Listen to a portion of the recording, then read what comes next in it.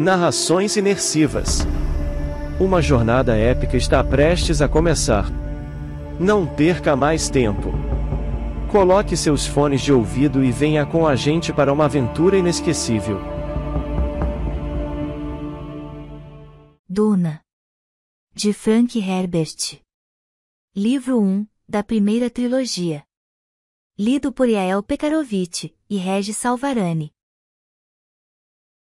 Como começar a estudar o pai de Muad'Dib? Um homem de simpatia inigualável e frieza surpreendente era o Duque Leto Atreides. Contudo, muitos fatos ajudam a desvendar esse duque. O amor duradouro por sua mulher Bene Gesserit, os sonhos que tinha para o filho, a devoção com que os homens o serviam. É aí que o vemos, um homem enredado pelo destino, um vulto solitário que teve sua luz obscurecida pela glória do filho. Ainda assim, há que se perguntar: o que é o filho senão uma extensão do pai? Excerto de Moadib, Memorial da Família, da Princesa Irulã.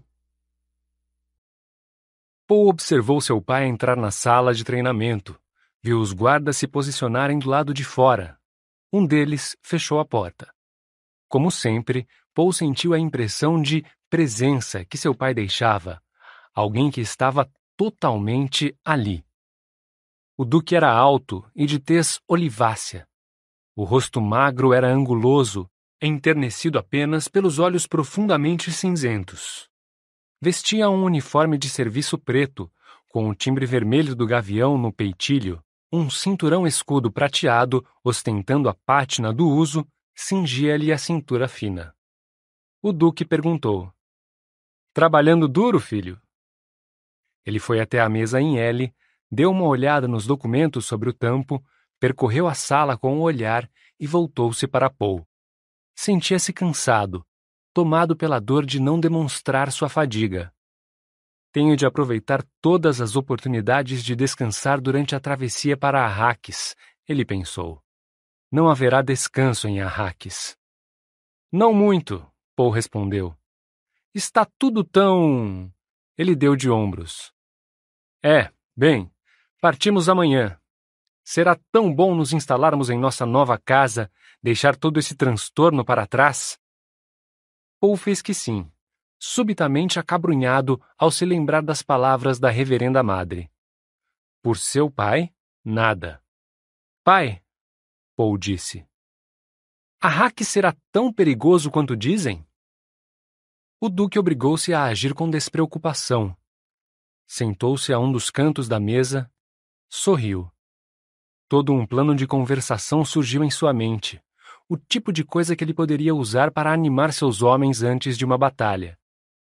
O plano esmoreceu antes que pudesse ganhar voz, confrontado por um único pensamento: Este é meu filho. Será perigoso, ele admitiu. Hawat me contou que temos planos para os Fremen, Paul disse. E se perguntou por que não conto a ele o que a velha disse. Como foi que ela lacrou minha boca? O Duque notou a aflição do filho e disse: Como sempre, Hawat vê a principal possibilidade. Mas isso não é tudo. Eu também vejo o consórcio Roné Ober Advancer Mercantiles, a companhia Shoan ao me dar arraques, Sua Majestade será obrigada a nos dar um cargo na diretoria da Chuan. Uma vantagem sutil. A Chuan controla a especiaria, Paul disse. E Arraques, com sua especiaria, é nossa via de acesso a Chuan, disse o Duque. A Chuan não é só o melange. A Reverenda Madre avisou você? Paul falou abruptamente. Ele cerrou os punhos, sentindo as palmas escorregadias por causa do suor o esforço necessário para fazer aquela pergunta. Hawat me contou que ela assustou você com alertas sobre Arrakis, o Duque disse. Não deixe os temores de uma mulher obscurecerem sua mente. Nenhuma mulher quer ver as pessoas que ama em perigo. Sua mãe está por trás desses alertas. Tome isso como um sinal do amor que ela tem por nós. Ela sabe sobre os Fremen? Sim, e sobre muitas outras coisas. Quais? E o Duque pensou. A verdade poderia ser pior do que ele imagina, mas até mesmo os fatos perigosos são valiosos quando se foi treinado para lidar com eles. E nisso meu filho não foi poupado em nada, no lidar com fatos perigosos. Mas é preciso estimulá-lo. Ele é jovem. Poucos produtos não passam pelas mãos da Chuan, disse o Duque. Toras, jumentos, cavalos, vacas, tábuas, esterco, tubarões, pele de baleia, os mais prosaicos e os mais exóticos. Até mesmo nosso humilde arroz punde caladanino. Qualquer coisa a guilda transporta. As formas de arte de Ecas, as máquinas de riqueza e Ix mas tudo empalidece diante do melange. Basta um punhado de especiaria para comprar uma casa em Tupile. Não se pode manufaturá-la, é preciso minerá-la em arraques. É única e tem propriedades geriátricas autênticas. E agora nós a controlamos? Até certo ponto, mas o importante é considerar todas as casas que dependem dos lucros da Choan. E pense na enorme proporção desses lucros que depende de um único produto, a especiaria. Imagine o que aconteceria se alguma coisa reduzisse a produção da especiaria. Quem quer que tivesse estocado o melange enriqueceria da noite para o dia, Paul disse. Os outros estariam ao Deus dará. O Duque se permitiu um momento de satisfação sinistra, olhando para o filho e pensando em como tinha sido perspicaz e realmente fundamentada aquela observação. Ele assentiu com a cabeça. Os Harkonnen andam estocando há mais de vinte anos. Eles querem ver a produção de especiaria cair e você levar a culpa. Eles querem que o nome Atreides se torne impopular, disse o Duque. Pense nas casas do Landshad que se voltam para mim como uma espécie de líder, seu porta-voz extraoficial. Imagine só como elas reagiriam se eu fosse responsável por uma séria redução em sua renda. Afinal de contas, os lucros vêm em primeiro lugar. Que se dane a grande convenção. Não vamos permitir que alguém nos empobreça. Um sorriso cruel desfigurou a boca do Duque. Elas fariam vista grossa, não importa o que fizessem comigo. Mesmo se nos atacassem com armas atômicas? Nada tão flagrante, nenhuma desobediência ostensiva da convenção, mas praticamente qualquer coisa fora isso, talvez até mesmo pulverização e envenenamento do solo. Então por que estamos nos metendo nisso? Paul. O Duque olhou feio para o filho. Saber onde está a armadilha é o primeiro passo para não cair nela. É como o combate singular, filho, só que numa escala maior, uma finta dentro de outra, dentro de outra, aparentemente sem fim. A tarefa é desenredar isso. Sabendo que os Harkonnen estocam melange, temos de fazer outra pergunta. Quem mais anda estocando? Essa será a lista de nossos inimigos. Quem? Certas casas que sabíamos ser hostis e algumas que pensávamos ser amigas. Precisamos pensar nelas por hora, porque nisso tudo há alguém muito mais importante: nosso amado imperador Padishah. Paul tentou engolir, com a garganta repentinamente seca. Você não poderia reunir o Landshad, expor e deixar nosso inimigo perceber que sabemos de quem é a mão que segura o punhal? Agora, Paul, nós vemos o punhal. Quem sabe para onde o moveriam em seguida? Se apresentássemos isso ao Landshad, só faríamos criar uma grande confusão. O imperador negaria seu envolvimento. Quem iria contradizê-lo? Só ganharíamos um pouco de tempo, mas nos arriscaríamos a mergulhar no caos. E de onde viria o ataque seguinte? Todas as casas poderiam começar a estocar a especiaria. Nossos inimigos têm a dianteira e a vantagem é muito grande. O imperador, Paul disse, ou seja, os Sardaukar.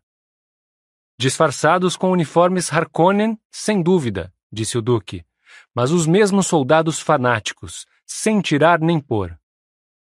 Como é que os Fremen podem nos ajudar contra os Sardaukar? Hawat conversou com você sobre Salusa Secundus? O planeta prisão do imperador? Não. E se fosse mais do que um planeta prisão, Paul? Eis uma pergunta que ninguém faz sobre o corpo imperial dos Sardaukar. De onde eles vêm? Do planeta prisão? Eles vêm de algum lugar. Mas os recrutamentos auxiliares convocados pelo imperador é o que nos levaram a acreditar. São apenas os recrutas do imperador treinados desde muito jovens e de maneira soberba. Ouve-se uma ou outra coisa sobre as academias militares do imperador, mas o equilíbrio de nossa civilização continua o mesmo. As forças armadas das casas maiores do Landshad de um lado, os Sardaukar e seus recrutas auxiliares de outro. E seus recrutas auxiliares, Paul. Os Sardaukar continuam sendo os Sardaukar. Mas todos os relatos sobre Salussa Secundus dizem que se trata de um planeta infernal. Indubitavelmente. Mas se fosse criar homens resistentes, fortes e ferozes, que condições ambientais você imporia a eles? Como se obtém a lealdade de homens assim? Existem métodos comprovados. Explore a certeza de sua superioridade, a mística do pacto secreto, o espírito do sofrimento compartilhado. É factível. Já foi feito em vários planetas e em várias épocas. Poe assentiu com a cabeça, fixando sua atenção no rosto do pai pressentiu uma revelação iminente. Pense em Arraques, disse o Duque. Fora das cidades e vilas fortificadas, é um lugar tão terrível quanto Salussa Secundus. Poe arregalou os olhos. Os Fremen! Temos ali potencialmente um exército tão forte e mortífero quanto os Sardaukar. Precisaremos de paciência para nos valermos deles em segredo e de dinheiro para equipá-los adequadamente. Mas os Fremen estão lá, e o dinheiro da especiaria também.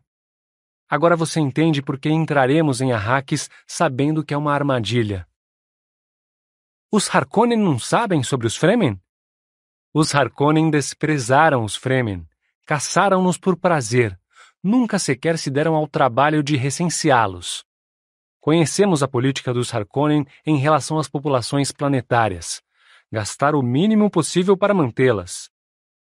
Os fios metálicos do símbolo do gavião sobre o peito do Duque brilharam quando ele mudou de posição. Entendeu? Estamos negociando com os Fremen neste exato momento, Paul disse. Enviei uma missão liderada por Duncan Idaho, explicou o Duque. Duncan é um homem orgulhoso e implacável, mas amigo da verdade. Creio que os Fremen irão admirá-lo. Se tivermos sorte, talvez eles nos julguem em função dele. Duncan, o honrado. Duncan, o honrado, Paul disse, e Gurney, o corajoso. Disse bem, falou o Duque. E Paul pensou. Gurney é um daqueles que a Reverenda Madre mencionou, um sustentador de mundos. A coragem dos bravos. Gurney me contou que você se saiu bem no combate armado hoje, o Duque comentou. Não foi o que ele me disse. O Duque gargalhou alto. Já imaginava que Gurney economizasse nos elogios. Ele diz que você tem uma boa ideia, nas palavras dele, da diferença entre o fio e a ponta de uma espada. Gurney disse que não há arte em matar com a ponta, que deve ser feito com o fio. Gurney é um romântico, o Duque resmungou. Aquela conversa sobre matar partindo de seu filho de repente o transtornou. Eu preferiria que você nunca tivesse de matar. Mas se a necessidade surgir, faça o que tiver de fazer, com a ponta ou com o fio. Ele olhou para a clarabóia sobre a qual a chuva tamborilava. Vendo para onde se dirigia o olhar do pai, Paul pensou nos céus chuvosos lá fora, uma coisa que, segundo todos diziam, nunca se veria em Arraques. E esse pensamento sobre os céus o levou ao espaço exterior. As naves da guilda são muito grandes? Ele perguntou. O Duque olhou para ele. Esta será sua primeira vez fora do planeta, ele disse. Sim, elas são grandes. Estaremos num paquete, pois a viagem é longa. O paquete é realmente grande. Em seu porão, todas as nossas fragatas e todos os nossos transportes ficarão aconchegados num cantinho. Seremos apenas uma pequena parte do manifesto da nave. E não poderemos sair de nossas fragatas? Faz parte do preço que se paga pela segurança da guilda. Se houvesse naves Harkonnen ao lado das nossas, nada teríamos a temer. Os Harkonnen sabem que não vale a pena colocar em risco seus privilégios de embarque. Vou ficar de olho nos nossos monitores para tentar ver um membro da guilda. Não vai, não. Nem mesmo os agentes da guilda podem ver um de seus membros. A guilda é tão ciosa de sua privacidade quanto de seu monopólio. Não faça nada que coloque em risco nossos privilégios de embarque, Paul. Você acha que eles se escondem porque sofreram mutações e não parecem mais. humanos?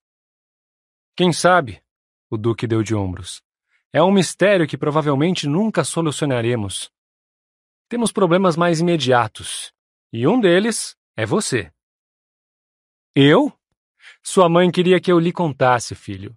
Veja bem, pode ser que você tenha os talentos de um mentat. Paul encarou o pai incapaz de falar por um momento, e então: Um mentat? Eu? Mas eu. Hawat concorda, filho. É verdade. Mas eu pensei que o treinamento de um mentat tivesse de começar na infância e que o indivíduo não pudesse saber, porque isso poderia inibir o início do.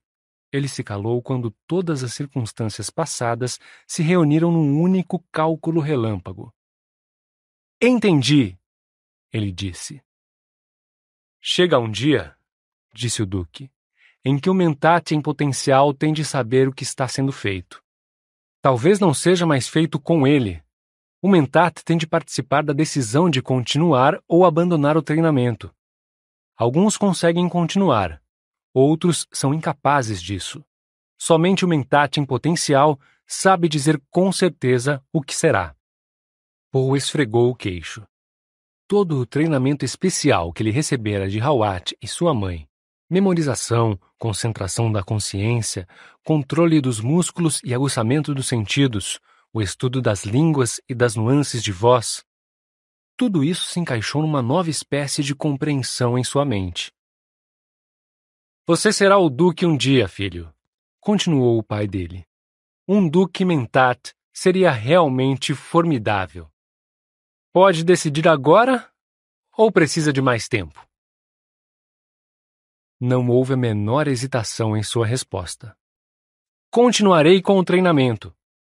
Realmente formidável, o Duque murmurou, e houve um sorriso orgulhoso no rosto do pai. O sorriso abalou Paul. Dava um ar de caveira ao rosto magro do Duque. Paul fechou os olhos, sentindo o propósito terrível redespertar dentro dele. Talvez ser um mentat seja um propósito terrível, ele pensou. Mas, ao mesmo tempo que ele se concentrava nessa ideia, sua nova percepção a contestava. Com Lady Jessica e Arrakis, o sistema Bene Gesserit de semear lendas implantes por meio da missionária protectora chegou à sua realização plena. Há tempo se reconhece a sensatez das Bene Gesserit em semear o universo conhecido com um padrão de profecias para a proteção de seu pessoal, mas nunca se viu uma condição ut extremis com um casamento tão perfeito de indivíduo e preparação. As lendas proféticas tornaram-se tão populares em Arrakis que até mesmo certos termos foram adotados, entre eles Reverenda Madre, Canto e Respondu e boa parte da panoplia proféticos de Shariá. E hoje é comum aceitar que as habilidades latentes de Lady Jessica foram grandemente subestimadas. Excerto de análise à crise arraquina, da princesa Irulan. Circulação reservada, número do arquivo B, G, AR 81088587. Em toda a volta de Lady Jessica, nas pilhas que se erguiam nos cantos do grande átrio de Arraquina, nos montes que se formavam nos espaços abertos, estava embalada toda a vida deles. Caixas de madeira e papelão, baús, valizes, algumas parcialmente abertas e desfeitas. ela ouviu os carregadores da nave auxiliar da guilda depositarem mais uma leva na entrada. Jessica estava parada no centro do átrio. Ela girou lentamente, olhando para cima e para os lados, para os entalhes sombreados, as frestas e as janelas em seus nichos profundos. Aquela sala gigantesca e anacrônica a fazia lembrar do salão das irmãs de sua escola Bene Gesserit. Mas na escola o efeito tinha sido acolhedor. Ali, tudo era pedra fria. Algum arquiteto tinha se inspirado na história remota para criar aquelas paredes apoiadas em arcobotantes e as tapeçarias escuras, ela pensou. O teto abobadado erguia-se dois andares acima dela, com imensas vigas transversais que certamente tinham sido transportadas pelo espaço até Arrakis a um custo monstruoso. Nenhum planeta daquele sistema tinha árvores para fazer aquelas vigas, a menos que a madeira das vigas fosse artificial. Ela achava que não. Aquele havia sido o palácio do governo na época do Antigo Império. Os custos não tinham tanta importância então tinha sido antes dos Harkonnen e de sua nova megalópole em Cartago, um lugar ordinário e despudorado a uns 200 quilômetros a nordeste, do outro lado da terra partida. Leto fizera bem ao escolher aquele lugar como a sede de seu governo. O nome, Arraquina, soava bem, repleto de tradição, e era uma cidade menor, mais fácil de esterilizar e defender. Mais uma vez, Ouviu-se o estrépito de caixas sendo descarregadas na entrada. Jessica suspirou. Apoiado numa caixa de papelão à direita de Jessica estava um retrato pintado do pai do Duque. O barbante do embrulho pendia do quadro como um enfeite rasgado. Um pedaço do barbante ainda estava na mão esquerda de Jessica. Ao lado da pintura descansava a cabeça de um touro negro, engastada numa placa envernizada. A cabeça era uma ilha escura num mar de papel acolchoado. A placa estava estendida no chão, e o focinho brilhante do touro apontava ao teto como se o animal estivesse prestes a urrar desafiadoramente naquela sala cheia de ecos. Jessica se perguntou o que ia levar a desembrulhar aquelas duas coisas primeiro, a cabeça e o quadro. Sabia que havia algo de simbólico no ato. Não se sentia tão assustada e insegura desde o dia em que os compradores do Duque foram buscá-la na escola. A cabeça e o retrato. Eles acentuavam sua sensação de confusão. Ela estremeceu. Olhou para as janelas estreitas lá no alto. Ainda era o início da tarde, e naquelas latitudes o céu parecia negro e frio, muito mais escuro que o azul acolhedor de Caladan foi tomada por uma saudade dolorosa e latejante de casa. Tão longe, Caladan. Chegamos! Era a voz do Duque Leto. Ela girou nos calcanhares e o viu sair da passagem em arco que dava para o salão de jantar. Seu uniforme de serviço preto, com o timbre vermelho do gavião no peitilho, parecia amarrotado e coberto de pó. Pensei que você tivesse se perdido neste lugar horrível, ele disse. É uma casa fria, ela comentou.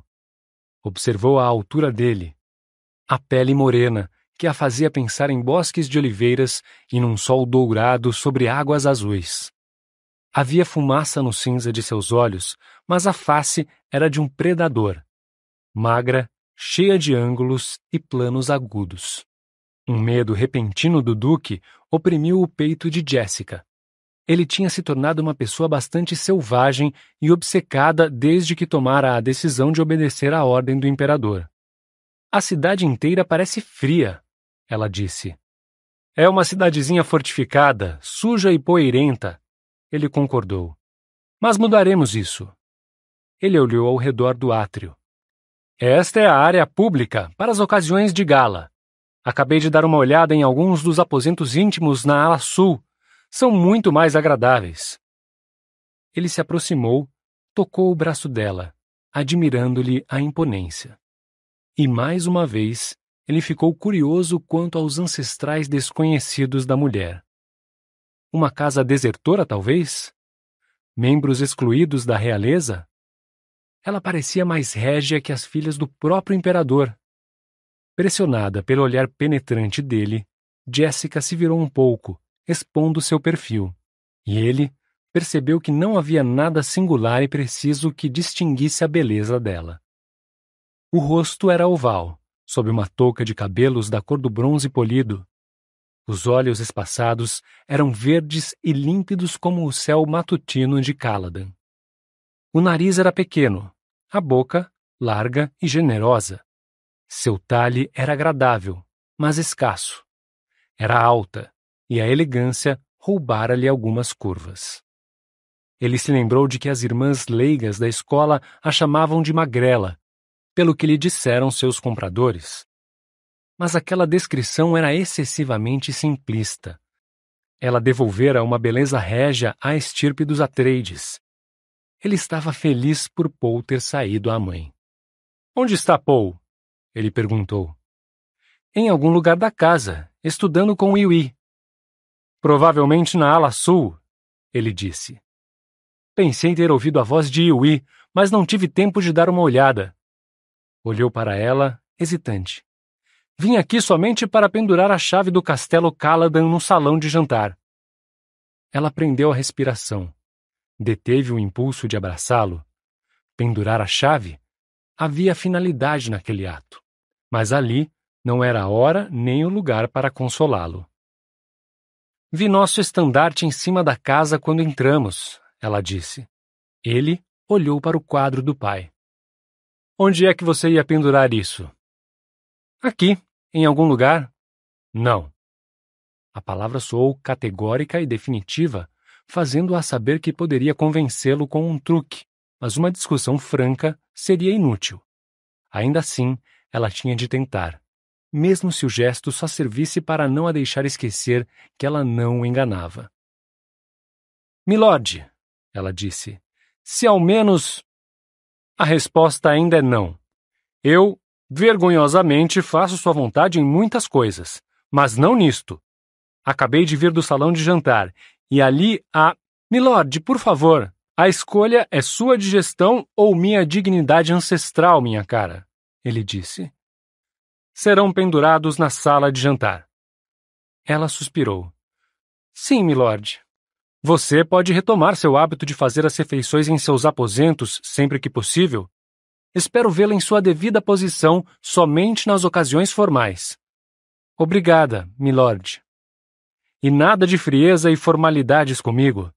Agradeça-me por nunca ter me casado com você, minha cara. Senão, seria sua obrigação juntar-se a mim à mesa em todas as refeições. Ela manteve a face imóvel e assentiu. Hawat já instalou nosso próprio farejador de venenos no teto do salão de jantar, ele disse. Há um modelo portátil em seu quarto.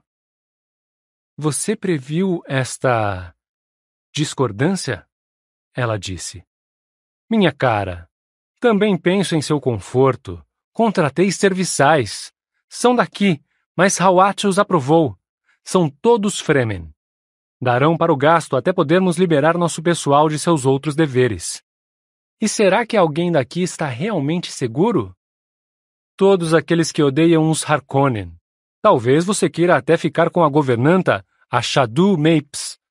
Shadu, Jessica disse. Um título Fremen? Disseram-me que quer dizer aquela que retira a água do poço, um significado com implicações muito importantes por aqui. Você talvez não a ache lá muito servil, apesar de Hawat falar muito bem dela, com base no relatório de Duncan. Estão convencidos de que ela deseja servir, mais especificamente, que ela deseja servir você. Eu? Os Fremen ficaram sabendo que você é Bene Gesserit, ele disse. Existem lendas aqui sobre as Bene Gesserit. A missionária protectora, pensou Jessica. Nenhum lugar lhes escapa. Quer dizer que Duncan teve êxito? Ela perguntou. Os Fremen serão nossos aliados? Não há nada definido ainda, ele respondeu. Duncan crê que eles querem nos observar por algum tempo, mas eles prometeram fazer uma trégua e parar de atacar nossas vilas mais afastadas. É uma vitória mais importante do que pode parecer. Hawat me contou que os Fremen eram uma pedra bem grande no sapato dos Harkonnen, que a dimensão dos estragos causados por eles era um segredo guardado a sete chaves. Não ajudaria muito se o imperador soubesse que o exército Harkonnen é ineficaz. Uma governanta Fremen, contemplou Jessica, voltando ao assunto da Shadow Mapes. Ela deve ter os olhos totalmente azuis. Não deixe a aparência dessa gente enganar você, ele disse. No fundo, são fortes e vigorosos. Acho que serão tudo de que precisamos. É uma jogada perigosa, ela disse. Não vamos recomeçar com isso, ele disse. Ela se obrigou a sorrir. Estamos empenhados. Não há dúvida quanto a isto. Ela se submeteu ao rápido regime de tranquilização. As duas inspirações profundas, o pensamento ritualizado, e então disse: Quando eu distribuir os cômodos, devo reservar algo especial para você? Um dia desses você vai ter de me ensinar como faz isto, ele disse. A maneira como você empurra as preocupações para um lado e volta sua atenção para questões práticas. Deve ser coisa das Bene. É coisa de mulher, ela disse. Ele sorriu. Muito bem. Distribuição dos cômodos. Certifique-se de que eu tenha um escritório grande perto do meu quarto de dormir. A papelada será maior aqui do que em Caladan. Uma sala de guarda, claro. Acho que é tudo. Não se preocupe com a segurança da casa. Os homens de Hawat foram minuciosos. Tenho certeza de que sim. Ele deu uma olhadela no relógio de pulso. E cuide para que todos os nossos relógios sejam ajustados de acordo com o horário de Arraquina. Designei um técnico para isso. Ele logo aparecerá. Removeu um fio de cabelo da testa de Jessica. Preciso voltar ao campo de pouso agora. A segunda nave auxiliar está para chegar a qualquer momento, trazendo a força reserva do meu Estado Maior. Hawat não pode recebê-los? Milord parece tão cansado. O bom Thufir está ainda mais ocupado que eu. Você sabe que este planeta está infestado de Harkonnen e suas intrigas? Além disso, preciso tentar convencer alguns dos caçadores de especiaria treinados a não irem embora. Eles têm essa opção, sabe? Com a mudança de suzerania, e é impossível comprar o tal planetólogo que o imperador e o Lance empossaram como juiz da transição. Ele vai permitir a opção, Cerca de 800 operários treinados esperam partir no transporte de especiaria e há um cargueiro da guilda a postos. Milord. Ela não completou a frase, hesitante. Sim? Ele não se deixará convencer a não tentar tornar este planeta seguro para nós, ela pensou. E não posso usar meus truques com ele. A que horas espera jantar? Ela perguntou. Não era isso que ela ia dizer, ele pensou. Ah, minha Jéssica, eu queria que estivéssemos em outro lugar. Qualquer lugar longe deste lugar horrível. Sozinhos. Nós dois. Sem preocupações. Vou comer no refeitório dos oficiais no campo, ele disse. Não me espere até muito tarde. E. Ah! Vou mandar um carro da guarda pegar Paul. Quero que ele participe de nossa conferência estratégica. Ele limpou a garganta, como se fosse dizer mais alguma coisa. Então, sem aviso, deu meia volta e se pôs a andar, a caminho da entrada onde, pelo barulho, ela deduziu que mais caixas eram depositadas. A voz dele soou uma vez, vinda de lá, imperiosa e cheia de desdém, da maneira que ele sempre falava com os serviçais quando estava com pressa. Lady Jessica está no grande átrio. Vá ter com ela imediatamente a porta externa foi batida com violência. Jessica se virou. Encarou o quadro do pai de Leto. Tinha sido pintado por um artista renomado, Albi, quando o velho duque já estava na meia-idade. Estava retratado com traje de toureiro, com uma capa magenta atirada sobre o ombro esquerdo. O rosto parecia jovem, dificilmente mais velho do que Leto era agora, e com os mesmos traços aquilinos, o mesmo olhar cinzento. Com os punhos fechados à altura dos quadris, ela olhou furiosamente para a pintura. Maldito! Maldito! Maldito! sussurrou. Quais são suas ordens, bem-nascida? Era a voz de uma mulher, fraca e gutural. Jéssica girou sobre os calcanhares e viu-se diante de uma mulher baixa, ossuda, de cabelos grisalhos, enfiada num vestido saco deselegante, na cor parda dos escravos. A mulher parecia tão enrugada e ressequida quanto qualquer membro da turba que os recebera no caminho desde o campo de pouso naquela manhã. Todo nativo que Jessica tinha visto naquele planeta parecia seco, como uma passa, e subnutrido. Ainda assim, Leto tinha dito que eram fortes e vigorosos, e havia os olhos, claro, aquela tintura do mais profundo e escuro azul sem o branco, sigilosos, misteriosos. Jéssica fez força para não encará-la. Sem mover o pescoço, a mulher acenou com a cabeça e disse: Chamam-me Shadu Mapes, bem-nascida. Quais são suas ordens? Pode-se dirigir a mim como um milady, Jéssica disse. Não sou da nobreza, sou a concubina comprometida do Duque Leto. Mais uma vez aquele estranho aceno, e a mulherzinha examinou Jéssica com um olhar intrigado e malicioso. Há uma esposa, então? Não há, e nunca houve. Sou a única, companheira do Duque, a mãe de seu herdeiro oficial.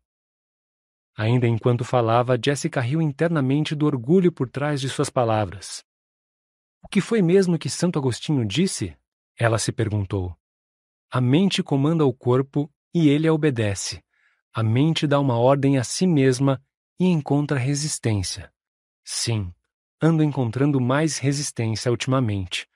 Preciso fazer um retiro. Um grito esquisito veio da rua lá fora e se repetiu. Sussusuk! Sussusuk! E depois. Ikut-e! Ikut-e! E de novo. Sussusuk! O que é isso? Jessica perguntou. Ouvi várias vezes ao passar de carro pelas ruas hoje de manhã. É só um vendedor de água, milady. Mas a senhora não precisa se preocupar com esses tipos. A cisterna aqui tem capacidade para 50 mil litros e está sempre cheia. Ela olhou para seu vestido. Ora, sabe de uma coisa, milady? Não preciso usar meu traje estilador aqui. Ela gargalhou. E ainda não morri. Jessica hesitou, querendo interrogar aquela mulher Fremen, precisando de dados para orientá-la. Mas era mais urgente por ordem na bagunça do castelo. Ainda assim, ela achou perturbadora a ideia de que a água fosse um sinal tão grande de riqueza ali. Meu marido falou-me de seu título Shadu, Jessica disse. Reconheci a palavra. É muito antiga. Conhece as línguas antigas, então? Mapes perguntou e esperou com uma estranha veemência. As línguas são as primeiras coisas que uma Bene Gesserit aprende? Jessica respondeu. Conheço a Botany Jib e a Shakobsa. Todas as línguas de caça. Mapes assentiu. Exatamente como nas lendas. E Jessica se perguntou por que continuo com esta farsa. Mas os métodos das Bene Gesserit eram tortuosos e irresistíveis. Conheço as coisas misteriosas e a doutrina da Grande Mãe, Jessica disse. Identificou os sinais mais óbvios nas ações e na aparência de Mapes, as pequenas inconfidências. Misseses pregia, ela disse na língua chacopsa. Andral trepera. Trada sic buscacri misesses peracri. Mapes deu um passo atrás, aparentemente prestes a sair correndo. Sei muitas coisas, Jessica disse. Sei que você teve filhos, que perdeu entes queridos, que se escondeu de medo, que cometeu atos de violência e ainda cometerá outros. Sei muitas coisas. Em voz baixa, Mapes disse: Não quis ofendê-la, milady. Você fala da lenda e busca respostas, Jessica disse. Cuidado com as respostas que encontrar. Sei que veio preparada para agir com violência, trazendo uma arma em seu corpete. Milady, eu. Há uma possibilidade remota de que você consiga derramar meu sangue, Jessica disse. Mas ao fazê-lo, acarretaria mais ruína do que seus temores mais absurdos conseguiriam imaginar. Há coisas piores que a morte, sabe? Mesmo para um povo inteiro. Milady! Mapes implorou. Parecia prestes a cair de joelhos. A arma foi enviada como um presente para a senhora, caso Milady se revelasse a predestinada, e como instrumento de minha morte, caso eu me revelasse outra coisa? Jessica disse. Ela aguardou com a aparente tranquilidade que tornava as pessoas treinadas pelas Bene Gesserit tão aterradoras em combate. Agora veremos para que lado penderá a decisão, ela pensou. Lentamente, Mapes enfiou a mão no decote de seu vestido e de lá tirou uma bainha escura. Dela se projetava uma empunhadura negra com sulcos profundos para os dedos. Ela tomou a bainha numa das mãos e o cabo na outra. Sacou uma arma branca como leite. Ergueu-a. A lâmina parecia brilhar e cintilar com luz própria. Apresentava dois gumes, como um quinjal, e a lâmina tinha talvez uns 20 centímetros de comprimento. Sabe o que é isso, milady? Mapes perguntou. Jessica sabia que só poderia ser uma coisa. A lendária Daga Cris de Arrakis. A arma branca que nunca saíra do planeta e só era conhecida por meio de rumores e conversa fiada. É uma daga, Cris, ela disse. Cuidado com o que diz, Mapes disse. Sabe o que significa? E Jessica pensou. A pergunta teve algo de incisivo. Eis a razão para esta Fremen estar a meu serviço. Para fazer essa pergunta. Minha resposta pode levar à violência ou. o quê? Ela quer uma resposta minha, o significado de uma faca. Ela é chamada de Shadu na língua Shakobsa. A faca. A faca é criador da morte em Shakobsa. Ela está ficando impaciente. Preciso responder agora. A demora é tão perigosa quanto a resposta errada. Jessica disse: É um criador. Ah. Chorou Mapes. Era um som tanto de pesar quanto de exultação. Ela estremeceu com tanta força que a lâmina da faca disparou pequenos reflexos cintilantes por toda a sala. Jessica esperou, aprumada. Sua intenção tinha sido dizer que a faca era um criador da morte e depois acrescentar a palavra antiga, mas todos os seus sentidos agora a alertavam. Todo o intenso treinamento para a prontidão que revelava significados no mais casual dos espasmos musculares. A palavra-chave era Criador. Criador? Criador. Ainda assim, Mapes segurava a faca como se estivesse preparada para usá-la. Jessica disse: Você pensou que eu, conhecendo os mistérios da Grande Mãe, não conheceria o Criador? Mapes baixou a faca. Milady, quando se convive há tanto tempo com a profecia, o momento de revelação é um choque. Jessica pensou na profecia, a Shariah e toda a panoplia proféticos. Uma Bene Gesserit da missionária protectora descera ali séculos antes. Morta havia tempos, sem dúvida, mas depois de cumprido seu objetivo, as lendas protetoras implantadas naquelas pessoas para o dia em que as Bene Gesserit precisassem. Bem, havia chegado o dia. Mapes devolveu a faca à bainha e disse: Esta é uma arma instável, milady. Guarde-a perto da senhora. Se passar mais de uma semana longe da pele, ela começará a se desintegrar. Será sua, um dente de Shai Hulud, enquanto Milady viver. Jessica estendeu a mão direita e arriscou. Mapes, você embainhou a lâmina sem tirar sangue. Com um grito sufocado, Mapes deixou cair a faca embainhada na mão de Jessica e abriu violentamente o corpete pardo, lamentando-se. Tome a água de minha vida! Jessica tirou a arma da bainha. Como brilhava! Dirigiu a ponta para Mapes. Viu um medo maior que o pânico da morte tomar a mulher. Veneno na ponta? Jessica se perguntou. Ela ergueu a ponta, desenhou um arranhão delicado com o fio da lâmina acima do seio esquerdo de Mapes. O sangue brotou em profusão. mas parou quase imediatamente. Coagulação ultra rápida, Jessica pensou. Uma mutação para conservar umidade? Ela embainhou a arma e disse: Abotoe seu vestido, Mapes. Mapes obedeceu, tremendo. Os olhos, sem nada de branco, fitaram Jessica. A senhora é nossa, ela murmurou. A senhora é a predestinada. Ouviu-se novo som de coisas que eram descarregadas na entrada. Rapidamente, Mapes apanhou a faca embainhada e a escondeu no corpete de Jéssica. Quem vir esta faca terá de ser purificado ou morto, ela disse entre dentes. A senhora sabe disso, milady. Sei agora, Jéssica pensou. Os carregadores foram embora sem entrar no grande átrio. Mapes se recompôs e disse: os impuros que veem em uma daga, Cris, não podem deixar arraques vivos. Nunca se esqueça disso, milady. A senhora foi confiada uma daga, Cris.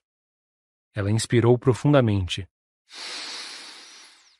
Agora a coisa tem de seguir seu curso. Não se pode apressá-la. Ela olhou para as caixas e os bens empilhados que a cercavam. E aqui há bastante trabalho para nós enquanto isso. Jessica hesitou, a coisa tem de seguir seu curso.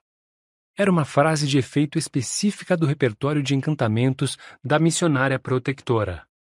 A vinda da Reverenda Madre para libertar vocês. Mas eu não sou uma Reverenda Madre, Jessica pensou. E então, Grande Mãe, introduziram essa profecia aqui. Deve ser um lugar horrível. Num tom de voz trivial, Mapes disse: o que a senhora quer que eu faça primeiro, milady? O instinto alertou Jessica para imitar aquele tom despreocupado. Ela disse: O quadro do velho duque ali. Ele tem de ser pendurado numa das paredes laterais do salão de jantar. A cabeça do touro deve ficar na parede oposta à do quadro. Mapes foi até a cabeça de touro. Que animal enorme deve ter sido para carregar uma cabeça como esta? Ela disse. Abaixou-se. Terei de limpá-la primeiro, não, milady? Não. Mas há grumos de terra nos cornos? Não é terra, Mapes. É o sangue do pai de nosso duque. Os cornos foram borrifados com um fixador transparente horas depois de essa fera ter matado o velho duque. Mapes ficou de pé. Ora essa! falou. É só sangue, Jéssica disse. E sangue velho, por falar nisso. Peça a ajuda de alguém para pendurá-las. Essas coisas descomunais são pesadas. A senhora achou que fiquei incomodada com o sangue? Mapes perguntou. Sou do deserto e já vi bastante sangue. Eu. notei que sim, Jessica disse. E uma parte dele era meu, continuou Mapes. Mais do que a senhora tirou com o seu arranhãozinho. Preferia que eu tivesse cortado mais fundo? Ah, não. A água do corpo já é bem pouca, não precisamos jogá-la fora. A senhora fez bem. E Jéssica, reparando nas palavras e nos gestos, compreendeu as implicações mais profundas da frase a água do corpo. Mais uma vez, sentiu-se oprimida pela importância da água em Arraques. De que lado do salão de jantar devo pendurar cada uma destas belezuras, milady? Mapes perguntou. Sempre prática, a tal Mapes. Jessica pensou, e disse: Fica a seu critério, Mapes. Não faz realmente diferença. Como quiser, milady. Mapes se abaixou e começou a tirar o papel de embrulho e o barbante da cabeça do touro. Matou um duque velho, não foi? Ela cantarolou em voz baixa. Quer que eu chame um carregador para ajudar você? Jessica perguntou. Darei um jeito, milady. Sim, ela dará um jeito, Jessica pensou. Esta criatura Fremen tem isto, o impulso de dar um jeito. Jessica sentiu a bainha fria da Dagacris sob seu corpete. Pensou na extensa corrente de maquinações das Bene Gesserit que havia forjado mais um elo ali. Por causa dessas maquinações, ela havia sobrevivido a uma crise fatal. Não se pode apressá-la, Mapes dissera. Mas aquele lugar tinha um ritmo impetuoso que enchia Jessica de pressentimentos. E nem todos os preparativos da missionária protectora, nem a inspeção paranoica daquele monte acastelado de pedras por parte de Hawat conseguiriam fazer aquela sensação desaparecer. Quando acabar de pendurar isso aí, comece a desfazer as caixas, Jessica disse. Um dos carregadores na entrada tem todas as chaves e sabe onde as coisas devem ficar. Pegue as chaves e a lista com ele. Se tiver alguma pergunta, estarei na ala sul. Como quiser, milady. Mapes disse. Jessica deu-lhe as costas pensando: Hawat pode ter aprovado a segurança desta residência, mas há algo errado neste lugar. Eu sinto que sim. Uma necessidade urgente de ver o filho se apoderou de Jessica. Ela começou a andar na direção do arco que levava ao salão de jantar e aos aposentos íntimos. Foi caminhando cada vez mais rápido até quase correr. Atrás dela, Mapes parou de remover o papel da cabeça do touro e olhou para a mulher que se afastava.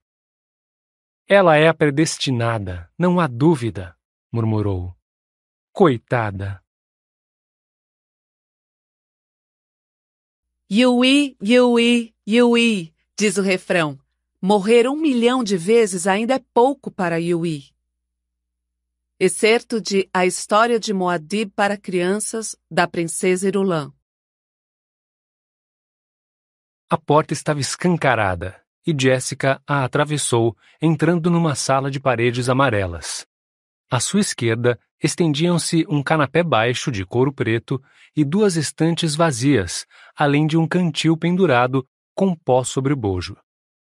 À sua direita, dos dois lados de outra porta, havia mais estantes vazias, uma escrivaninha calada nina e três cadeiras. As janelas, diretamente à frente dela, estava o doutor Yui, com as costas voltadas para ela e a atenção concentrada no mundo lá fora. Jessica deu mais um passo silencioso para dentro da sala. Viu que o casaco de Iwi estava amassado, com uma mancha branca perto do cotovelo esquerdo, como se ele tivesse encostado em giz.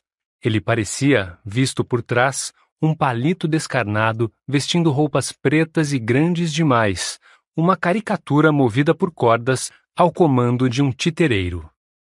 Somente a cabeça quadrada, com cabelos longos, cor de ébano, presos sobre o ombro pelo anel de prata da escola Suk, parecia viva. Virando-se ligeiramente para acompanhar algum movimento lá fora. Mais uma vez, ela relanceou o olhar pela sala, não vendo nem sinal de seu filho. Mas sabia que a porta fechada à direita levava a um pequeno quarto de dormir, pelo qual Paul havia expressado certa predileção. Boa tarde, Dr. Yui, ela disse. Onde está Paul?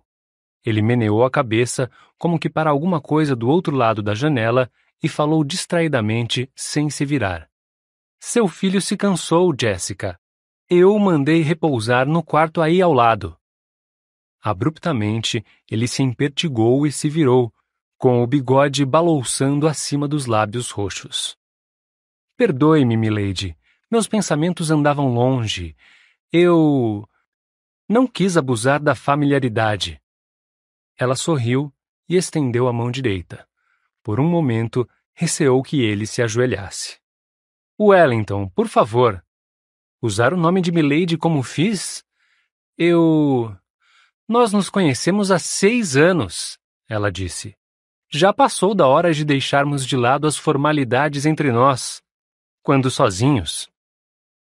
Yui arriscou um sorriso débil, pensando: Creio que funcionou. Agora ela irá pensar que qualquer coisa incomum na minha conduta se deve ao constrangimento. Ela não irá procurar razões mais profundas se acreditar já saber a resposta.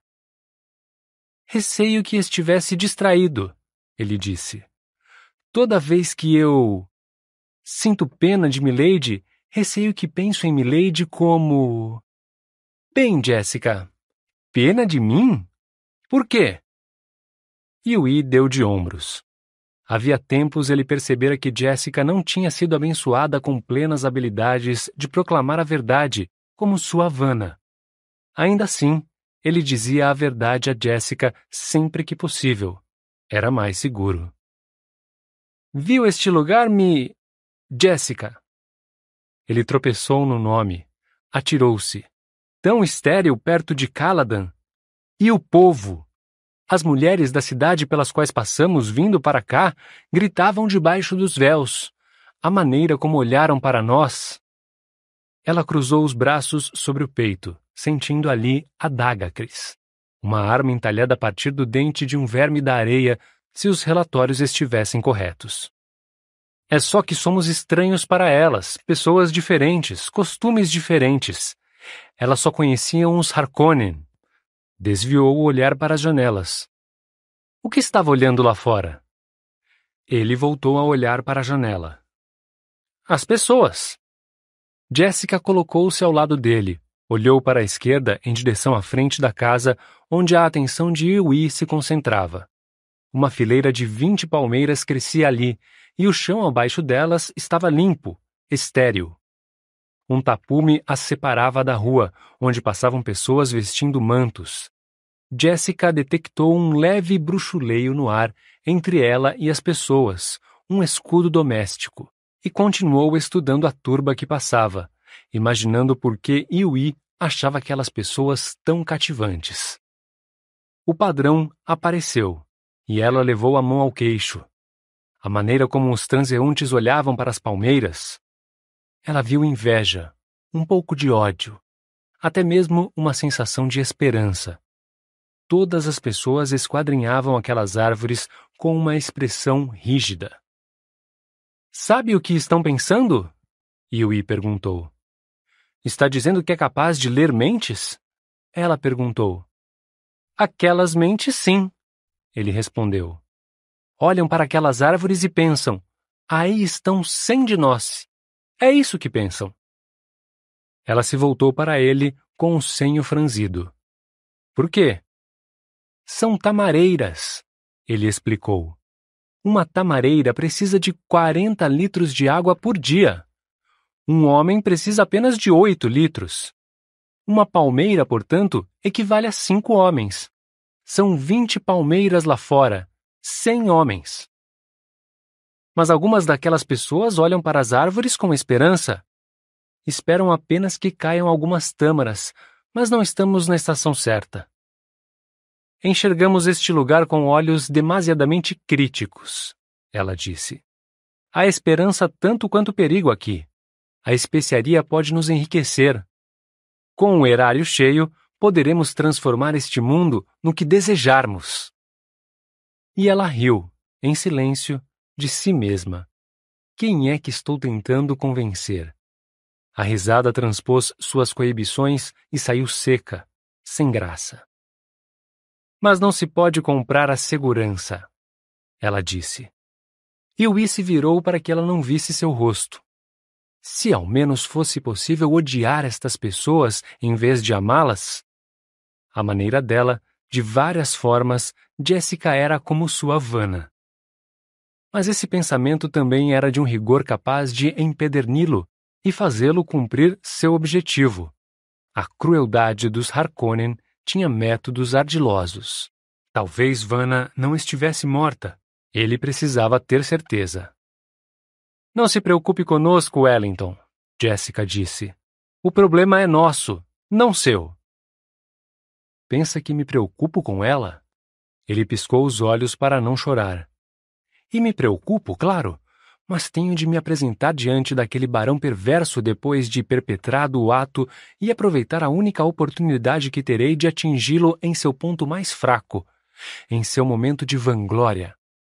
Ele suspirou. Paul poderia acordar se eu desse uma olhada nele? Ela perguntou. De jeito nenhum. Dei a ele um sedativo. Ele está se adaptando à mudança? Ela perguntou. A não ser pelo cansaço excessivo, sim. Está empolgado, mas que rapaz de 15 anos não estaria, dadas as circunstâncias? Ele foi até a porta, abriu-a. Ele está aí dentro. Jessica o imitou e olhou para dentro de um quarto escuro. Paul estava deitado num catre estreito, com um dos braços sob uma coberta leve, o outro atirado para trás, por cima da cabeça.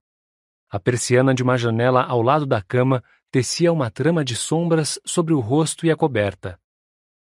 Jessica olhou atentamente para o filho, vendo a forma oval do rosto, tão parecido com o seu. Mas os cabelos eram os do Duque, cor de carvão e desgrenhados. Cílios longos escondiam os olhos cor de limão. Jessica sorriu, sentindo que seus temores cediam. De repente, viu-se fascinada pela ideia de traços genéticos na fisionomia do filho. Eram as feições dela nos olhos e no contorno do rosto, mas entreviam-se toques marcantes do pai naquele perfil, como a maturidade a surgir da infância. Pensou nos traços do rapaz como uma destilação apurada de padrões aleatórios, linhas intermináveis de acaso encontrando-se num nexo. O pensamento a fez querer se ajoelhar ao lado da cama e tomar o filho nos braços, mas ela foi inibida pela presença de Yui. Retrocedeu e fechou a porta de mansinho. Yui tinha voltado para a janela, incapaz de suportar a maneira como Jessica olhava para o filho. Por que Vanna nunca me deu filhos? Ele se perguntou. Sei, como médico, que não havia nenhum motivo físico que nos impedisse. Será que as Bene Gesserit tinham um motivo? Será, talvez, que ela tenha sido instruída a desempenhar outro papel? Qual poderia ter sido? Ela certamente me amava. Pela primeira vez, ficou encantado com a ideia de que talvez ele fosse parte de um padrão mais intricado e complicado do que sua mente era capaz de entender. Jessica parou ao lado dele e disse: Que abandono delicioso é o sono de uma criança. Ele falou mecanicamente: Ah, se os adultos conseguissem relaxar dessa maneira. Sim. Onde é que perdemos isso? Ele murmurou. Ela olhou para ele, percebendo o estranho tom de voz, mas sua mente ainda estava em Paul, pensando nos novos rigores do treinamento que ele receberia ali, pensando em como a vida dele seria diferente, tão distinta da vida que um dia tinham planejado para ele. É mesmo, perdemos alguma coisa, ela disse. Ela olhou para a direita, para uma escarpa carregada de arbustos verdes cinza e agitados pelo vento, folhas cobertas de pó e galhos secos e retorcidos. O céu, demasiadamente escuro, era como uma nódoa pairando sobre a escarpa, e a luz leitosa do sol arraquino dava à cena um matiz prateado. Luz semelhante à da Dagacris, escondida em seu corpete. O céu é tão escuro, ela comentou. Deve ser em parte a falta de umidade. Ele explicou. Água. Ela falou ríspida. Para onde quer que olhemos, estamos às voltas com a falta de água. É o precioso mistério de Arraques, ele disse. Por que é tão escassa? Existem rochas vulcânicas aqui. Posso enumerar dezenas de fontes de energia. Há o gelo polar. Dizem ser impossível perfurar no deserto. As tempestades e marés de areia destroem o equipamento antes que se consiga instalá-lo. Isso se os vermes da areia não fizerem o serviço primeiro. De qualquer maneira, nunca encontraram sinais de água por lá. Mas o mistério, Wellington, o verdadeiro mistério, são os poços que foram perfurados aqui nas pias e bacias. Já leu a respeito deles? No início, um fiozinho d'água, depois nada. Ele disse. Mas, Wellington, esse é o mistério. A água estava lá. Ela seca. E nunca mais se encontra água. E, no entanto, outro buraco perfurado ao lado do primeiro produzirá o mesmo resultado: um fio d'água que para de brotar. Será que ninguém achou isso curioso? É curioso, ele disse. Você desconfia da ação de algum ser vivo? Não teria aparecido nas amostras geológicas? O que teria aparecido? Matéria vegetal ou animal alienígena? E quem a reconheceria? Ela voltou a olhar para a escarpa. A água para de brotar. Alguma coisa a obstrui. É disso que desconfio. Talvez se saiba a razão, ele disse. Os Harkonnen tornaram inacessíveis muitas fontes de informação sobre Arrakis. Talvez houvesse um motivo para suprimi-las. Qual motivo? Ela perguntou. E também temos a umidade atmosférica. É bem pouca, certamente, mas existe. É a principal fonte de água daqui, recolhida em captadores de vento e condensadores. De onde isso vem? Das calotas polares? O ar frio retém pouca umidade, Wellington. Algumas coisas aqui atrás do véu dos Harkonnen merecem uma investigação minuciosa, e nem todas essas coisas estão envolvidas diretamente com a especiaria. Estamos, de fato, atrás do véu dos Harkonnen, ele disse. Talvez nós. Não concluiu, notando a maneira intensa e repentina como ela olhava para ele. Algo errado? A maneira como você diz Harkonnen, ela disse. Nem a voz de meu duque tem tanto veneno ao mencionar esse nome abominável. Não sabia que você tinha motivos pessoais para odiá-los, Wellington. Grande mãe, ele pensou. Despertei sua desconfiança. Agora tenho de usar todos os truques que minha Vana me ensinou. Só há uma solução: contar a verdade até onde eu puder. Ele disse: Você não sabia que minha esposa, minha Vana, ele encolheu os ombros, incapaz de falar, com um nó na garganta. E depois. Eles. As palavras não saíam. Ele entrou em pânico. Fechou os olhos com força, sentindo praticamente só a agonia em seu peito até uma mão tocar-lhe delicadamente o braço. Perdoe-me, Jéssica disse. Não era minha intenção reabrir uma velha ferida. E ela pensou: Aqueles animais. A mulher dele era Bene Gesserit. Os sinais estão estampados nele. E é óbvio que os Harkonnen a mataram. Eis mais uma pobre vítima que jurou lealdade aos Atreides por um xeram de ódio. Desculpe-me, ele disse. Não consigo falar sobre isso. Ele abriu os olhos, entregando-se à consciência interior do pesar. Aquilo, pelo menos, era verdade. Jéssica o estudou, observando os malares oblíquos, as lantejoulas escuras que eram os olhos amendoados, a cutis amanteigada e o bigode comprido que pendia feito uma moldura arredondada de um lado e de outro dos lábios roxos e do queixo fino. Ela viu que as rugas da face e da testa eram marcas de tristeza tanto quanto da idade viu-se tomada por uma profunda afeição por ele. Wellington, sinto muito por termos trazido você para este lugar perigoso, ela disse. Vim por livre e espontânea vontade, ele falou. E aquilo também era verdade. Mas este planeta inteiro é uma armadilha dos Harkonnen. Você certamente sabe disso, ela disse. Será preciso mais que uma armadilha para apanhar o Duque Leto, ele retorquiu. E aquilo também era verdade. Talvez eu deva confiar um pouco mais nele, ela disse. É um estrategista brilhante.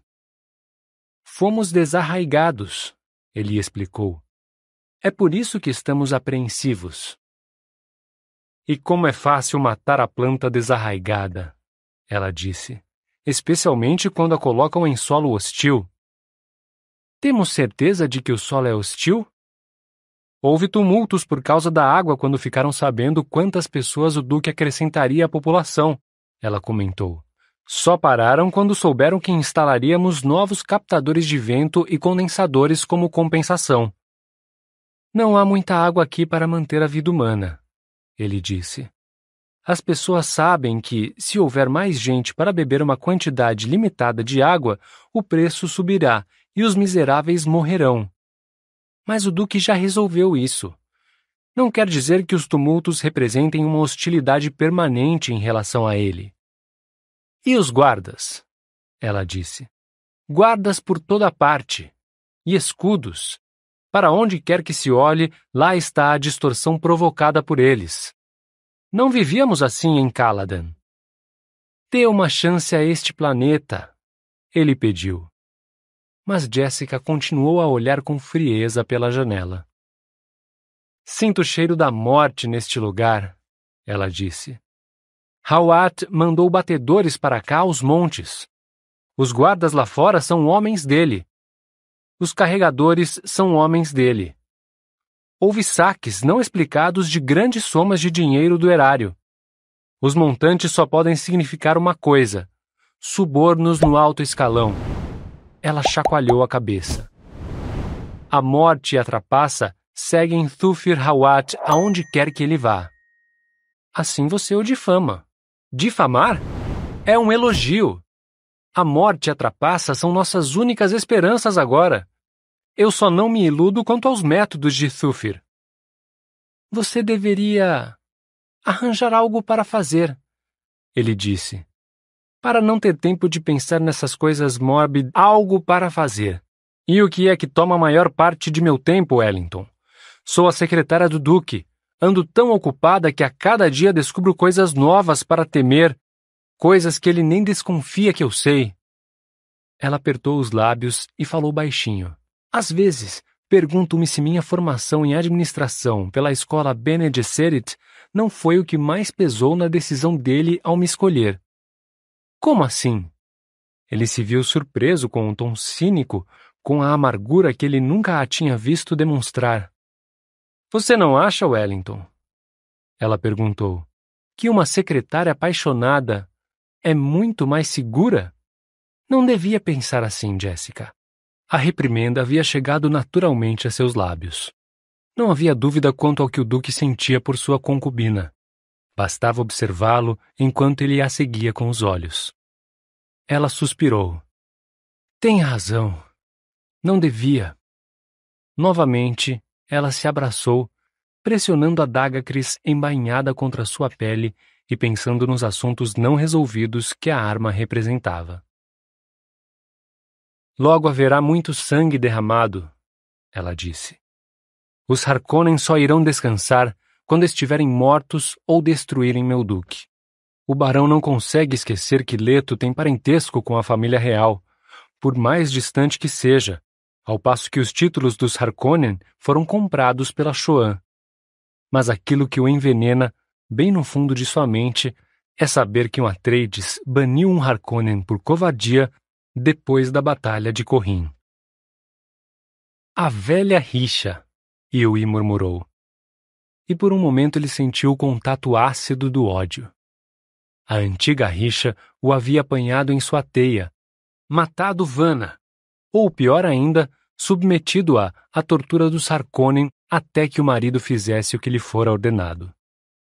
A velha rixa o enredara e aquelas pessoas eram parte daquela coisa peçonhenta, a ironia era que tamanha letalidade devesse desabrochar ali, em Arrakis, a única fonte de melange do universo, a especiaria que prolongava a vida e trazia a saúde. No que está pensando? Ela perguntou. Estou pensando que a especiaria é vendida a 620 mil solares o decagrama no Mercado Livre neste exato momento. É dinheiro suficiente para comprar muitas coisas. A ganância afeta até mesmo você, Wellington. Não é ganância. O que é então? Ele deu de ombros. Futilidade. Ele olhou para ela. Você se lembra da primeira vez que experimentou a especiaria? Tinha gosto de canela. Mas nunca se repete, ele disse. É como a vida. Apresenta uma face diferente toda vez que a experimentamos. Alguns afirmam que a especiaria produz uma reação de paladar adquirido. O corpo, ao aprender que algo é bom para ele, interpreta o sabor como agradável, ligeiramente eufórico. E assim como a vida, nunca será realmente sintetizada.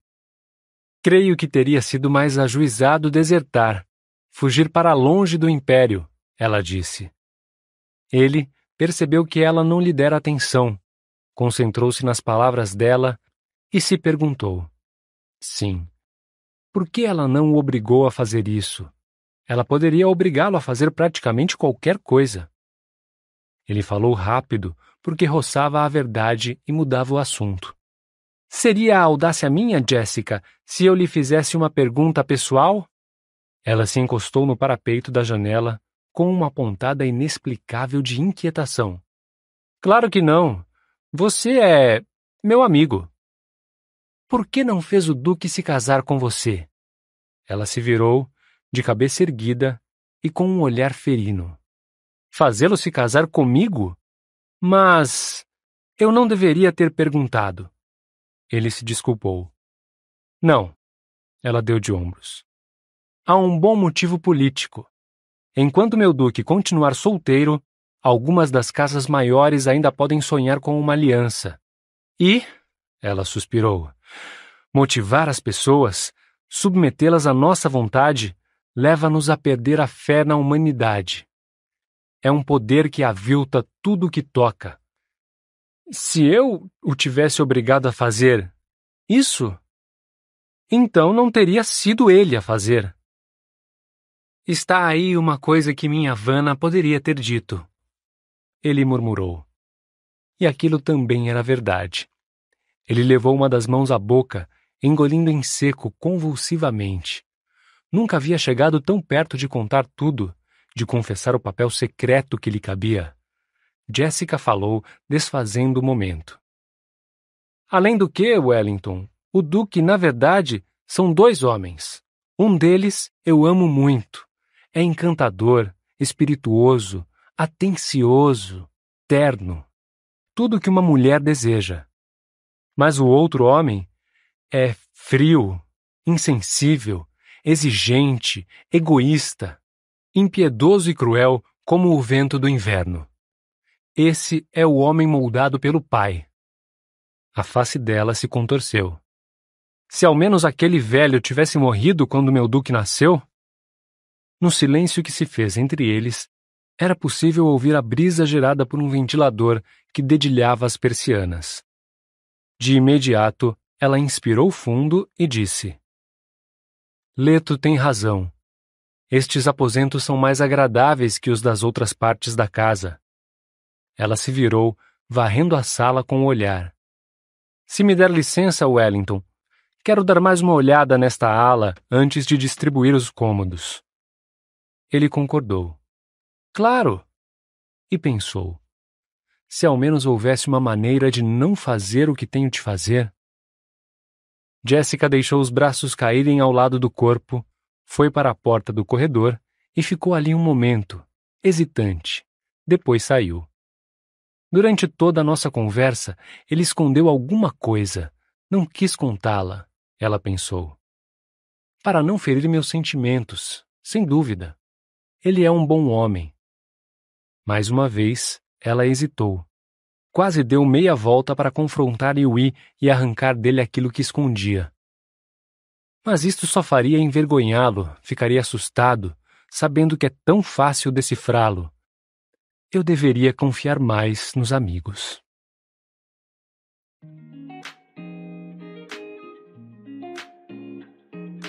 O canal Narrações Imersivas agradece por ter ouvido mais um episódio conosco. Acompanhe nossa página no Instagram e fique por dentro de todas as novidades do canal. E se você vê valor neste projeto, considere apoiá-lo. Até a próxima com mais uma narração imersiva.